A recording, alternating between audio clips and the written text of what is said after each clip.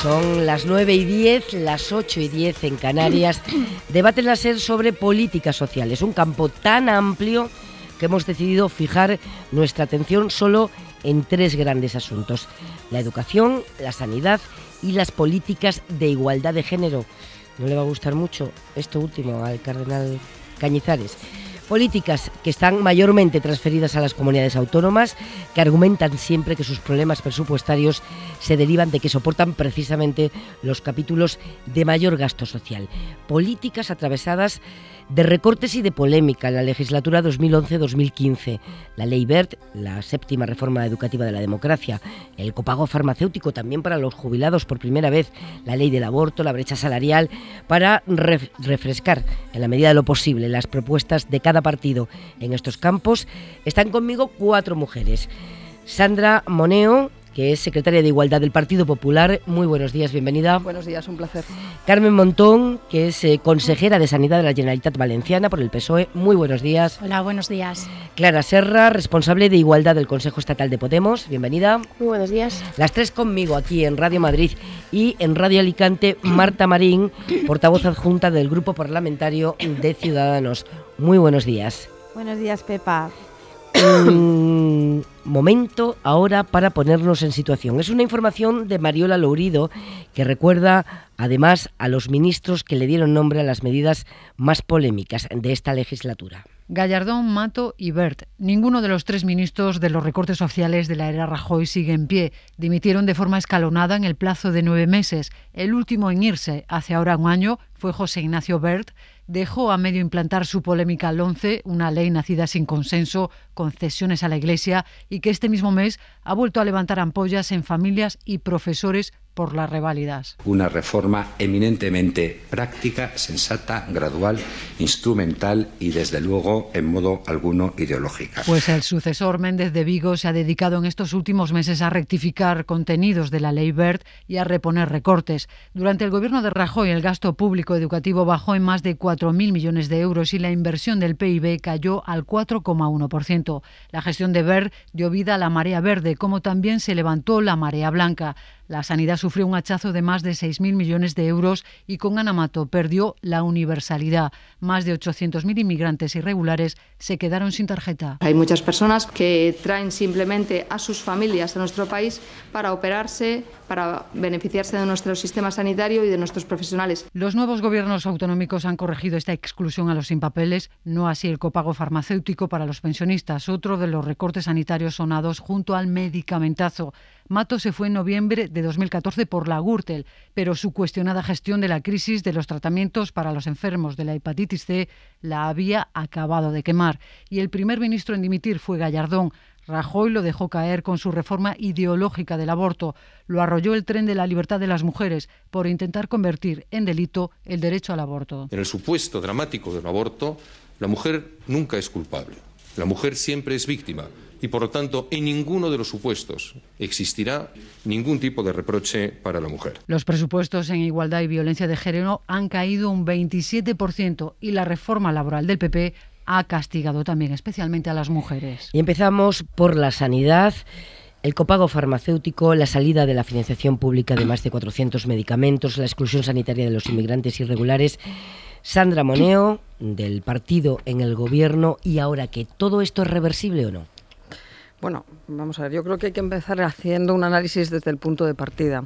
Y es que al comienzo de esta legislatura el sistema sanitario eh, tenía una deuda de 16.000 millones, esa es la realidad. Había crecido esa deuda en los últimos años un 173%, es decir, que las decisiones que en primer lugar tenían que acometer el gobierno de la nación era conseguir preservar un sistema de sanidad, uno de los cinco mejores sistemas sanitarios del mundo, su carácter universal, de calidad eh, y gratuito. Y eso es lo que se ha dedicado estos, eh, estos años. Además, bueno, había una serie de disfunciones eh, que dificultaban ese, ese, carácter. En primer lugar, las diferencias en relación a las comunidades autónomas, 17 sistemas eh, distintos. Hoy disponemos por primera vez de una tarjeta sanitaria única. El hecho, por ejemplo, de que los parados de larga duración tuvieran que pagar el 40% del precio de los medicamentos, sin contar también con que había una serie de personas que se encontraban fuera del sistema sanitario. Yo recuerdo un artículo del propio diario El País donde hablaba de 200.000 personas que estaban fuera del paraguas de la sanidad y se refería a esos parados de larga duración y se refería también a aquellos profesionales liberales eh, que estaban, bueno, eh, tenían otro sistema de protección, abogados, ingenieros, etcétera. ¿Qué se ha hecho estos cuatro años? Bueno, pues preservar nuestro sistema de sanidad. Y nuestro sistema de sanidad sigue vivo, sigue en buena salud y desde luego sigue ofreciendo muchísima calidad. Incrementar, pues incrementar eh, las prestaciones, unificar políticas, por ejemplo, el calendario de vacunación, incluir nuevos medicamentos dentro de la cartera eh, de servicios. Y eso evidentemente cuesta, o sea, no se ha hecho gratis, se ha hecho pidiendo un gran esfuerzo a los ciudadanos, que hay que reconocerlo. Pero también tenemos que decir que estamos en la senda correcta y que la sanidad española goza de buena salud. Querría que hiciéramos, en la medida de lo posible, ustedes pueden debatir de lo que quieran, ¿eh? Eh, eh, un debate a futuro, un debate a futuro. ¿Es sostenible el sistema, señora Montón, sin todos estos recortes? Es sostenible el sistema y además estos recortes son precisamente lo que hacen que sea difícil seguir hacia adelante, porque no tiene sentido un sistema público sin derechos para la ciudadanía nos han dicho la mentira de que los recortes del decreto 16-2012, recortes en la universalidad, muchos eh, ciudadanos quedaron excluidos de la atención sanitaria integral, que eso era un ahorro. Es mentira, es más caro. Son pacientes que van a ir a urgencias, que van a colapsar urgencias, que van a llegar con enfermedades más avanzadas, por tanto, más caros los tratamientos los tratamientos, además de la inmoralidad y del problema de salud pública, porque mm, a veces se quedan descontroladas enfermedades de, control obligatorio, de declaración obligatoria. Ese decreto también habló de los copagos para personas con, rentas bajas. Ah, nos ha demostrado el barómetro sanitario, que depende del Ministerio, que el abandono de tratamientos en España ha estado en el 4%, la media, y por motivos económicos en la comunidad valenciana hemos llegado hasta el 8%. Fíjense el daño que han hecho en algunas comunidades. Por tanto, el copago es especialmente dañino en personas vulnerables como son los pensionistas que tienen pensiones bajas. Y por eso en la comunidad valenciana ya lo hemos eliminado y lo hacemos a través de una subvención. O el veto de la reproducción asistida a mujeres solas o lesbianas. Tampoco es un ahorro, es un sesgo ideológico, es la moralidad hecha decreto ley. Eso no tiene nada que ver con la sostenibilidad del sistema. ¿Cómo se hace sostenible el sistema? Gestionando mejor. Primero, priorizando en los presupuestos. En la Generalitat Valenciana estamos priorizando, tenemos el presupuesto más alto de toda la historia para que sea sostenible. La prioridad hay otros que la ponen en otros ámbitos, nosotros lo ponemos en sanidad. Y sobre todo gestionando con más eficiencia una central de compras. ¿Por qué las comunidades autónomas no pueden entrar a negociar la compra de los medicamentos? Lo hace el Gobierno central a espaldas de las comunidades autónomas se puede gestionar mejor y desde luego no es privatizar. Enseguida mm, se abre el debate. ¿eh? Clara Serra, Podemos, modelo sanitario de Podemos. Sí, nosotros pensamos que los hachazos de que ha dado el Partido Popular a la sanidad eh, han supuesto un recorte de, un derecho fundamental y que ha afectado a la, mayoría de la población y sobre todo a los más débiles. Pero además eh, es un recorte que en modo alguno ha conseguido reducir el gasto, de hecho lo aumenta. Según el informe de la Agencia Europea de Derechos Fundamentales, sale más barato atender a inmigrantes en atención primaria que atenderlos en, en, urgencias, como se hace ahora. Es decir, sale más barato eh, prevenir las enfermedades o atenderlas a tiempo que cogerlas cuando ya son más graves. Y además el perfil del inmigrante irregular es un perfil de eh, persona joven y saludable y y por tanto que no genera gasto. Digo además que ha golpeado a los más débiles porque eh, ahora mismo hay eh, 840.000 personas que dicen tener problemas para pagar los medicamentos y porque además el Real Decreto 16-2012 introdujo copagos en medicamentos que sobre todo eh, piden los pensionistas. ¿no? Ahora el programa de estabilidad 2014-2017 del Gobierno tiene como objetivo reducir aún más el gasto. De hecho, reduciría el gasto otros 9.000 millones y no, eso implicaría un recorte de, de, 20, esto implicaría un retroceso para nosotros de, de 20 años. Nosotros pensamos que hay que recuperar la cobertura sanitaria universal también para, para inmigrantes. ¿Y financiar todo eso cómo? ¿Financiar eh, la reversión de estos recortes cómo? Bueno, en principio habría que preguntarle al Partido Popular eh, cuánto cuesta la corrupción, ¿no? Nosotros, por ejemplo, estábamos hablando antes de la púnica. Bueno, la púnica ha costado 500 millones.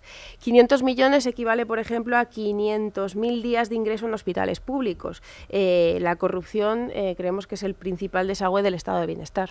Marta Martín, de Ciudadanos, modelo sanitario y financiación de ese modelo. Bueno, nosotros pensamos que el sistema, por supuesto que es sostenible, pero tiene que haber voluntad para ello y que está claro que las necesidades de gasto están creciendo exponencialmente, pero no se están llevando a cabo las suficientes medidas para prevenirlo. Eh, para nosotros es muy importante mejorar la prevención para evitar gastos futuros y también actuar muy fuertemente sobre el tema del envejecimiento activo.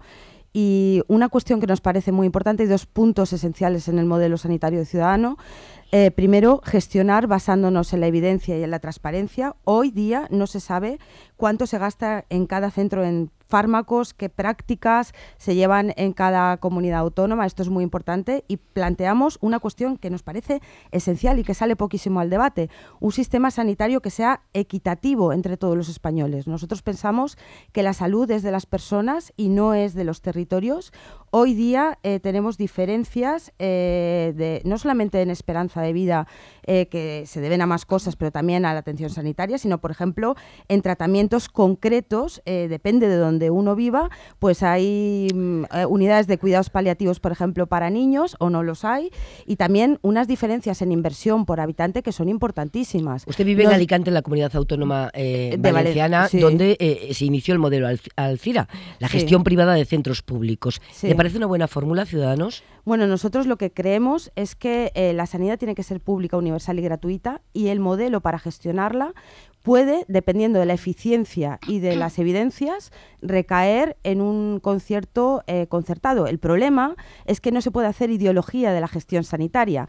Hoy por hoy lo que habría que hacer sería revisar hasta qué punto ese modelo concertado está favoreciendo a la atención de los eh, pacientes y si no está siendo mejor y más eficiente quitarlo, pero no quitarlo de antemano pensando que solamente por motivos ideológicos va a ser peor. lo importante es que todos los españoles, con independencia del lugar en donde vivamos, recibamos una sanidad que sea eh, que tenga una cartera de servicios eh, similar y unas inversiones similar, similares. Había pedido la palabra Sandra Moneo. Vamos a ver. El sistema será sostenible siempre que hagamos una buena gestión del mismo con absoluta claridad. Eh, aquí se ha hablado de que, por ejemplo, eh, ah, por ejemplo, por ejemplo, la gestión, no, la buena gestión es saber dónde tienes que invertir para sacar la mayor rentabilidad. Y en este caso, la mayor rentabilidad es una educación, es, perdón, una sanidad eh, de calidad, que es la que tenemos y atender a la mayor personas posibles que la necesiten. Vamos a ver, aquí se ha hablado de que el Estado es el Estado el que compra los medicamentos. Pues bien, gracias a ese sistema centralizado de compra de medicamentos, se ha podido negociar mejor con los laboratorios. Y gracias a eso hemos ahorrado 6.000 millones. 6.000 millones el Estado. 6.000 millones. Perdona, Carmen. De lo que perdona, yo Carmen. al mes de llegar a la consellería. millones. Ahora ya intervenciones cortas, ¿eh? Sí, sí, sí, Se hablaba también, bueno, en fin, de, corrupción de 500 millones. Bueno, 500 millones frente a 6.000. Es decir, hay una buena gestión. El Estado ha tenido que dotar a las comunidades autónomas de 184.000 millones. ¿Por qué? Porque había retraso en el pago a proveedores, porque había deudas acumuladas. Y eso es lo que hace inviable no solo el mm. sistema de sanidad, sino el sistema los fondos de, educación, por ejemplo. Territorial, por ejemplo, lo, que, lo que hace inviable el sistema, y te lo digo como sufridora de los desmanes del gobierno del PP en la Comunidad Valenciana es una multa de 19 millones de euros por facturas ocultas de gobiernos anteriores, facturas sanitarias en la Comunidad Valenciana. Lo que hace inviable el sistema es dejarte a 35.000 personas fuera de la asistencia sanitaria integral. ¿Qué personas?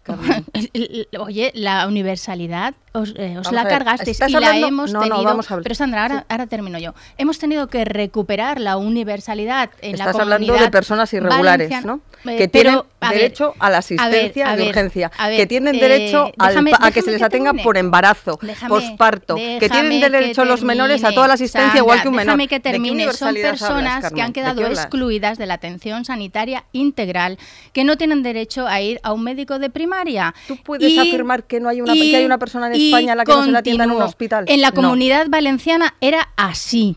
incluso, las incluso las embarazadas, tus compañeros del Partido pues Popular. Tú sabes y perfectamente hemos, bueno, pero yo termino la frase cuando tú me dejes terminarla. Disculpa. Y hemos devuelto la universalidad a la atención sanitaria en la Comunidad Valenciana y el Gobierno, en funciones de Mariano Rajoy, ha decidido ponernos un recurso de inconstitucionalidad. Hemos, levantado, hemos pedido eh, eh, que se levante la suspensión de la norma y el Tribunal Constitucional nos ha dado la razón y nos ha dicho que no hay ningún estudio ni ninguna cuestión que avale ese supuesto ahorro económico y que la salud está por encima de cualquier condicionante.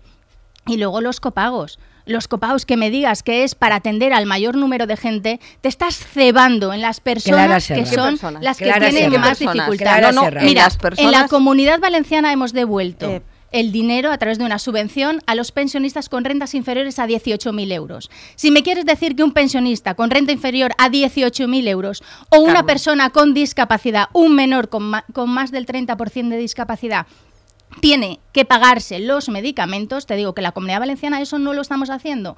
Y eso es sostenible, por supuesto. porque lo que tiene que ser sostenible es pensamos, lo decía antes la, Lo decía antes la compañera de Ciudadanos que, veremos si la, si la privatización funciona o no, o si la gestión privada funciona o no. Nosotros en Podemos pensamos que ya hemos visto si funciona o no la privatización de la, de la sanidad que ha llevado a cabo el Partido Popular y que parece que a Ciudadanos le parece bien. Y que ha demostrado a qué conduce esa gestión privada y ese, ese entrar el lucro y el, y el, y el negocio en lo que debería ser un derecho.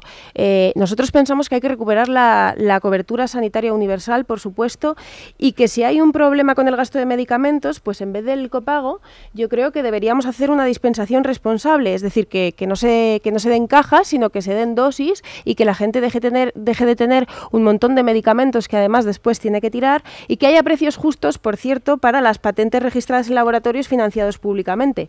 En cualquier caso, creemos que tiene que haber una incrementación, un, incremento de la dotación y volver a los niveles que se destinaban a la, a la sanidad eh, antes del 2012 y que tiene que haber también una ampliación en la cartera de servicios porque hay muchos medicamentos que muchas personas necesitan por cuestiones de necesidad médica que no están financiados por la, por la sanidad pública. Marta Martín, Ciudadanos.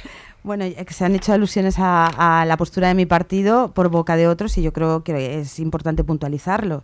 Eh, en primer lugar, eh, nosotros no hemos dicho que la gestión eh, concertada sea mejor que la privada. Hemos dicho que no, existan, no existen evidencias de que la gestión privada sea mejor que la pública, pero tampoco evidencias hoy por hoy de, de cómo está esa situación. Por tanto, que necesitamos hacer políticas basadas en evidencia, sobre todo en temas de sanidad y no solamente en ideología, porque al final lo importante es la salud. Con respecto al tema de las centrales de compra, que nosotros eh, a priori creemos que hay que potenciar las economías de escala, porque esto supone un ahorro en el gasto farmacéutico, que es el gran riesgo que en este momento tiene el sistema eh, sanitario español, eh, lo cierto es que si no se hace bien, pues ha habido diferencias, por ejemplo, entre las comunidades autónomas de 300, del 300%, por ejemplo, en la adquisición de los fármacos sobre la hepatitis C. Entonces, esto, ojo, cuidado, y también, por ejemplo, en Andalucía eh, que está gobernando el Partido Socialista, tampoco ha funcionado correctamente la central de compra eh, andaluza. y sobre el tema de los... De, por favor, ah, por favor eh, Carmen, yo te he dejado hablar y es muy difícil si me interrumpes desde Alicante, que no te veo, que pueda intervenir. nos parece, no nos parece bien la privatización, ya lo hemos dicho, y nos parece que hay que erradicar cualquier barrera de acceso a los tratamientos necesarios médicos. Es decir, eh, nosotros creemos que en estos momentos eh, hay gente que a los que el tratamiento de, por, por, los nuevos recortes están impidiendo la adherencia a medicamento y esto hay que eliminarlo. Ahora bien, hay que hacer una gestión eficiente y responsable, porque si no somos eh, capaces de hacer un sistema sostenible, al final lo que podemos conseguir es que nadie tenga acceso a la sanidad. Y por eso nosotros creemos que es importantísimo, primero, eh, incentivar la transparencia del sistema, que se sepa por eh, con, sistemas de Big Data cuánto dinero se está gastando en cada cuestión y, en segundo lugar, hacer políticas que sean eh, equitativas para todos los ciudadanos en este país. No nos parece bien, insisto, lo digo porque eh, la compañera de Podemos ha hecho una aseveración que no es cierta, nosotros no estamos, y así lo hemos demostrado, a favor de la privatización de la sanidad. Y esto quiero que quede bien claro. Sandra Somos defensores de una, educación, de una sanidad gratuita ha quedado claro, Ha quedado claro. Sandra Moneo, Partido Popular, si el PP gana las elecciones de nuevo, mantiene la ley de educación que se aprobó sin consenso ni político ni de la comunidad educativa? Pues si el PP gana las elecciones va a eh, trabajar por lograr un gran pacto por la educación un gran pacto por la educación. Y eso implica por y, eso implica y eso implica no Carmen eh, nosotros siempre hemos trabajado por el pacto por la educación. De hecho siempre que hemos tenido responsabilidades de gobierno hemos trabajado y hemos aplicado leyes elaboradas por el Partido Socialista hasta que hemos demostrado la no no nos ha salido muy bien porque el abandono educativo temprano ha bajado seis puntos en esta legislatura. Dicho lo cual siempre es deseable un pacto por la educación. Y nos sentamos con tu partido y nos sentamos con el ministro Gabilondo. Han votado, y fue una pena no llegar a un acuerdo, pero vamos a trabajar por acuerdo. Y eso, y eso, no, hombre, no. Carmen, tenías un problema con el Partido Socialista de Cataluña y yo, creo que, yo creo que ni las enseñanzas comunes, ni los cuerpos nacionales del profesorado, ni la defensa del castellano. Yo creo que un pacto por la bueno, estoy hablando que incluir a la comunidad está, Está en el uso de, la palabra Sandra Moneo, que está diciendo que si el PP gobierna, si la ha entendido bien, si el PP gobierna, cambiar la ley, derogaría la ley pues en estos momentos, eh, eh, como planteamiento a priori, pues eh, habrá que hablar con la comunidad educativa, habrá que hablar con el resto de partidos. Lo que sí que le digo es que no nos asusta tener que cambiar la ley. Creemos que esta ley es una ley buena. Por cierto, esta ley contempla toda la atención en educación primaria de la LOE del Partido Socialista. Por lo tanto, es una ley del Partido Popular que lo comparte de las medidas del Partido Socialista. La cuestión es por qué se quiere derogar una ley a la que no se le está dando ni la más mínima oportunidad. ¿Podemos estar dispuestas a sentarse en una mesa con el Partido Popular y ponerse de acuerdo sobre el modelo educativo? Nosotros estamos de acuerdo a sentarnos, eh, sentarnos con todo el mundo, pero obviamente, fundamentalmente con la comunidad educativa, con los profesores, con las madres y con los padres, que son justamente los eh, grandes olvidados de, de, una ley que se ha hecho con toda la oposición unánime de la, de la comunidad educativa y que nos parece que es prioritario derogar. En Podemos estamos totalmente convencidos de que la ley BER ha sido un retroceso para la educación, además ha fomentado la segregación por sexos, ha fomentado la concertada y la privada y además, por ejemplo, que luego hablaremos de eso, ¿no? La ley BERT ha supuesto la desaparición de asignaturas que nos parecen fundamentales por la igualdad, la desaparición de la educación sexual y, por tanto, retroceso en cuestiones fundamentales, por ejemplo, cuando hablamos de la cuestión de la violencia machista en los institutos y en la adolescencia educación. para la ciudadanía, pero pero, la LOMCE contempla por primera vez en una ley educativa la violencia de género como objetivo a lo largo de todo el sistema educativo. Que no, aparece en ninguna asignatura. No, me ha quedado, claro, no me ha quedado claro a mí una cosa. ¿Podemos estar dispuesto a llegar a un pacto de Estado con el PP en materia educativa? Podemos estar de acuerdo a llegar a un pacto con todo el mundo, no obviamente con el PP solamente. O sea, un pacto de Estado, la necesidad de un pacto de Estado. Eh, Nosotros lo, intentamos con el ministro Gabilondo, ese gran acuerdo del que se levantó a última hora el Partido Popular y ahora lo bueno y ahora lo volveremos. Yo lo tuve que negociar. Pero Sandra, déjame terminar. Venga. Y ahora lo volveremos a intentar, porque la ley BERT, además de, de segregar a los alumnos, además de a través de las reválidas eh, establecer una vía muerta, de dejar en la cuneta a muchos chavales, a muchos niños y niñas en edades tempranas, eh, además de ir en contra de la igualdad, en contra de la diversidad. Además de todo eso es que se ha hecho en contra de la comunidad educativa. No es casualidad que se votara por todos los grupos en contra, menos por el Partido Popular, y por tanto hace falta un consenso en la educación. Pero ustedes han gobernado, señora Montón, ustedes han hecho y lo leyes, hemos, y lo hemos intentado. Han hecho leyes educativas de lo que de lo que nos dice la experiencia, de lo que llevamos probado con siete reformas educativas en la democracia, en qué hemos fracasado, qué habría que hacer de cara a futuro. O sea, ¿qué harían ustedes si gobernaran? De, pues lo, que intentó eh, que dejó a medias el ministro Gabilondo, continuar con ese acuerdo, que el Partido Popular se levantó de la mesa eh, sectorial diciendo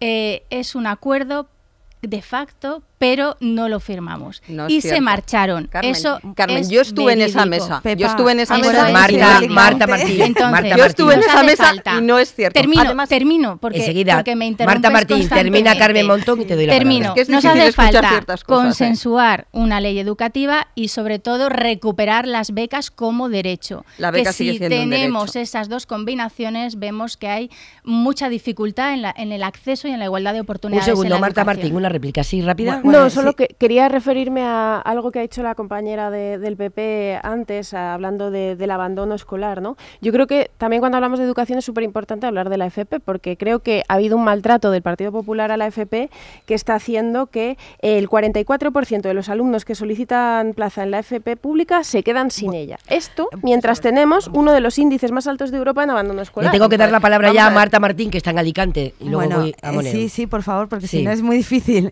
Eh, bueno, yo creo que aquí tienen razón las tres. Eh, vamos a ver, somos campeones en fracaso escolar, estamos en una situación de emergencia educativa y tienen razón las tres en que no se van a poner de acuerdo. Y obviamente ninguno, ni el Partido Popular ni el Partido Socialista van a ser capaces de poner en marcha un pacto nacional por la educación porque si lo hubieran sido capaces ya lo habrían hecho. Y la realidad es que estamos hoy todavía en la situación de que estamos con un absoluto maniqueísmo en este tema. No se está utilizando la educación para lo que tiene que ser, que es para que nuestros niños sean personas más autónomas, mejores ciudadanos y personas más capaces de vivir en la sociedad del conocimiento. Se está haciendo para eh, hacer un debate partidista y yo creo que esto es intolerable. Nosotros creemos que somos el partido que vamos a ser capaces de generar un pacto nacional por la educación, pero no porque nosotros nos creamos mejores que los demás, mm, sino porque hemos demostrado, hemos demostrado, desde aquí la distancia hemos demostrado eh, que eh, somos capaces de generar el diálogo para mejorar entre el resto de las fuerzas políticas. Nosotros planteamos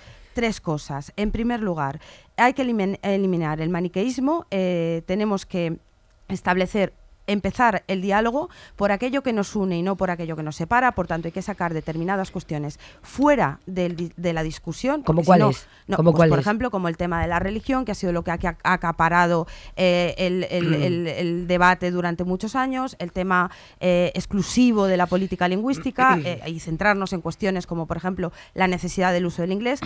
nosotros planteamos, en primer lugar, eso. En segundo lugar, hay que confiar en los expertos, hay que hacer políticas basadas en la evidencia y hay gente que está haciendo un trabajo encomiable, por ejemplo, eh, cito al profesor Marina, que es referencia para no solamente para mi partido político, sino también para los otros dos, y creemos que tenemos que tener una, una hoja clara de ruta y muy concisa. Por favor, dejadme que termine, que si no, no puedo muy En primer lugar, creemos que es importante revalorizar la figura del maestro y, la profesión del maestro en nuestra sociedad. Creo que en eso vamos a estar todos de acuerdo. En segundo lugar, creo que tenemos que cambiar la currícula y no solamente hacer que nuestros niños y niñas tengan mejores capacidades lectoescritoras y lingüísticas, sino también, como ha dicho eh, Clara de Podemos, eh, cuestiones relacionadas con la inteligencia emocional, pero también con cuestiones relacionadas con los valores cívicos para evitar eh, problemas como el bullying. Y en tercer lugar, y en tercer lugar, nos parece esencial que al margen de discrepancias sobre temas de lenguas autóctonas o identitarias, o, eh, eh, es importantísimo fomentar el, el, uso y el aprendizaje del inglés, porque en, este, Sandra Moneo, estos momentos... Claro. Sandra Moneo, Sandra Moneo 30 segundos, 30 segundos. Vamos a ver, yo creo Muchas en primer, lugar, que, en primer lugar, para llegar a un pacto, lo primero que hay que saber es qué modelo educativo defiendes, en lo que estás dispuesto a ceder y a negociar. Y yo, con sinceridad, todavía no sé cuál es el modelo de Ciudadanos. Esa es la realidad. En porque los temas eh, que se han expuesto son obvios. Todos queremos llegar a un acuerdo con el profesorado, pero para llegar a un acuerdo lo primero que hay que partir sobre de los consensos alcanzados. Y ese consenso es el artículo 27 de la Constitución española. Por cierto, la formación profesional, la formación profesional, la formación profesional ha duplicado el número de alumnos a lo largo de estos cuatro años. Ha sido la gran potenciada por la LOMCE, la FP básica y la FP y la FP dual. Hombre, en fin, a mí esto de dejar en la cuneta a alumnos me gustaría saber qué concepto tiene la portavoz del Partido Socialista porque por primera vez hemos bajado el 20%, el 20 de abandono educativo temprano. Dejar en la cuneta alumnos es superar el 30% y eso se han conseguido con las leyes socialistas. Carmen con las leyes socialistas. En la cuneta alumnos es que las ayudas gratuitas a libros de texto hayan desaparecido totalmente en 2012 y ahora en 2016 solo se han recuperado la cuarta parte. Por cierto, la Comunidad Valenciana, la Sarsa, la Sarsa Libres está dando en libros la Comunidad Valenciana ya sabemos que vuestro modelo es recortar la libertad. también me gustaría no recortamos Termina la frase de Carmen Montón y hacemos una pausa. Te, das cuenta que atropellas los argumentos de los demás. Cuando te faltan los tuyos, no, dejas, no Termina la frase. hablar. Hay que recuperar eh, la inversión en sanidad. Estamos en, niveles históricos, eh, perdón, en, en sanidad también, pero en educación estamos en niveles bajísimos a nivel de 2007 por debajo de Eslovenia, Rumanía, Hungría. Hay que recuperar las becas como derecho y ampliarlo. Y hay que eh, no dejar de lado a la comunidad educativa que vosotros os habéis dedicado a golpear. Primero, ha castigado especialmente a las mujeres. La reforma laboral, segundo, también. Ha aumentado el porcentaje de paro femenino que alcanza casi el 23% frente al 19,5% de los hombres. Son datos de la última EPA. Además, el 70% de los contratos a tiempo parcial están ocupados por mujeres. La brecha salarial en el 24% según el INE. El INE, la lucha contra la violencia de género, que es una lucha de larguísimo recorrido, se ha visto también afectada por los recortes. Y la legislatura empezó con la reforma de la ley del aborto que pretendía derogar la ley de plazos que tuvo finalmente esa reforma que retirar Gallardón por la contestación social y que todavía hoy está pendiente lo que pase con el aborto del recurso ante el Constitucional que presentó el Partido Popular a la ley de Zapatero. No sé si ha quedado claro, Sandra Moneo, si el recurso del Constitucional le diera la razón al PP y gobiernan, ¿qué pasaría? Bueno, pues vamos a esperar a que se pronuncie el Constitucional, lógicamente. Nosotros siempre hemos defendido la misma postura en relación eh, al tema del aborto. Desde luego, para nosotros el aborto eh, no es un derecho, pero el aborto eh, no tiene que implicar eh, que una mujer vaya a la cárcel. Eso clarísimamente, y eso también lo contemplaba nuestro recurso de inconstitucionalidad y lo, contemplaba eh, clarísimamente la ley de Gallardón. Nosotros, como hicimos eh, anteriormente, vamos a esperar a que se pronuncie el Constitucional. Creíamos que la ley del partido que en aquel momento elaboró el Partido Socialista vulneraba el derecho constitucional, ni más ni menos que el derecho a la vida, y que lo que tendríamos que hacer son políticas positivas que defendiesen a la mujer y que defendiesen sobre todo a la mujer se encuentra en situación de más vulnerabilidad. El Gobierno eh, eh, va a poner en marcha un plan de apoyo a la maternidad, es una de las propuestas eh, que hemos presentado ante, ante la sociedad, precisamente para hacer hincapié en aquellas mujeres que se encuentran en situación más vulnerable, en aquellas mujeres que muchas veces se ven abandonadas, que están en riesgo de exclusión social, en aquellas que no tienen suficiente apoyo, suficiente, suficiente protección con ayudas directas y las adolescentes. Carmen Montón, PSOE. Bueno, eh, la postura del Partido Popular siempre ha sido de negación de la realidad, y, pero lo cierto es que desde que se puso en marcha la ley de Zapatero, el índice de aborto en España está disminuyendo porque no tiene nada que ver que haya más libertad a la hora de decidir si se quiere o no ser madre con, eh, con los planteamientos de defensa de la vida que nos hace el Partido Popular y que de verdad están bastante trasnochados. Defensa de la vida y de la maternidad es educación de 0 a 3 años, es ayudar a que las mujeres no tengan esa brecha salarial, es ayudar a las, a las familias monomarentales donde se está cebando la pobreza. El 42% de las familias monomarentales están viviendo en pobreza pobreza frente al 25% de las biparentales. Eso es ayudar a las mujeres en el día a día. La principal preocupación del Partido Socialista es una ley de igualdad salarial para recuperar ese déficit económico que arrastran las mujeres y que luego se ve también reflejado pues en las pensiones, donde las pensiones son más altas. Y la violencia de género. Hemos estado en niveles del 30% en los recortes, ahora en el 2016 estamos en un 16% de recortes y la violencia de género con menos medios, con menos visibilidad y con menos implicación política, policial y judicial no se va a resolver. Clara Serra, bueno, nosotros cada vez que el Partido Popular habla de defender la maternidad nos quedamos, la verdad, a cuadros. O sea, el Partido Popular entiende por defender la maternidad, uno, eh, obligar a las mujeres a ser madres en contra de su voluntad, impidiendo el acceso de las mujeres a la interrupción voluntaria del embarazo. En el caso de la Comunidad de Madrid, por ejemplo, ahora mismo está habiendo situaciones verdaderamente graves en el caso de mujeres jóvenes. Eh, Podemos lo está denunciando en la Asamblea y, hay, hay, casos sangrantes de cómo se está eh, entorpeciendo el acceso acceso al aborto justamente para las mujeres más vulnerables, justamente para las mujeres que viven situaciones de acoso en su entorno familiar, de desatención, de abandono, etcétera, etcétera. Pero, pero es que además el Partido Popular entiende por defender la maternidad una cosa muy curiosa, no solo, por ejemplo, eh, impedir el acceso de las mujeres solas y lesbianas a la reproducción asistida, que desde luego es una defensa de la maternidad muy curiosa, sino también, eh, bueno, es que ser madre en este país es una carrera de obstáculos. Las madres son las principales principales protagonistas de la crisis. La reforma laboral del Partido Popular ha afectado fundamentalmente a las mujeres, que han visto más precarizado eh, su empleo.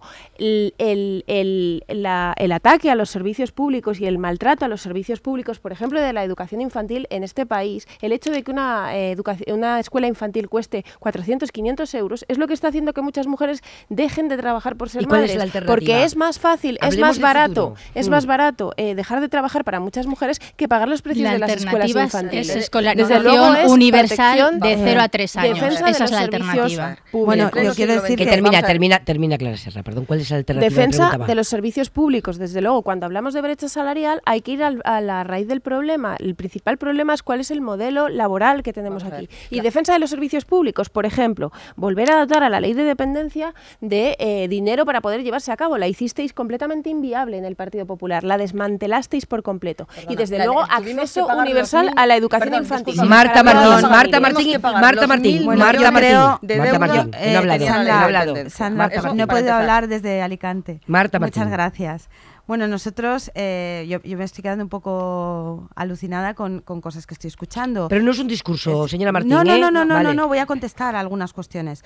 Bueno, nosotros, eh, si hay un partido que está comprometido con el tema de la conciliación personal y, laboral, ese es Ciudadanos. Bueno, que, ayer, dijo Albert Rivera a la periodista que se contratara una niñera, ¿no? Si no, no puedo entrar. La verdad es que es una manera curiosa. Y en cualquier caso, también estamos, y lo hemos defendido, eh, por una red de escuelas públicas de 0 a 3, pero una red de escuelas públicas de verdad, no como sinceramente Carmen está pasando en la comunidad valenciana, donde hay escuelas de 0 a 3, estamos siendo pioneros públicas, también en sí, tan pioneros como que cuando un niño eh, tiene un accidente te llaman de tu trabajo para que salgas a cambiarlo. Eso me parece que no es haber entendido Vamos a terminar ya, ¿eh? lo advierto. Bueno, pero no he podido hablar simplemente Marta, decir. Marta Martín. Eh, nosotros con el tema del aborto consideramos que la ley actual es una ley que, es, es, correcta, no, no, es, el aborto siempre es un drama y consideramos que tiene que haber un marco un marco de garantías que haga que, que haga que ninguna eh, que ninguna mujer eh, pueda ser penalizada eh, por, por interrumpir voluntariamente el embarazo dentro de la ley de plazos. Dicho 20 esto, segundos. Con respecto al tema de la brecha salarial,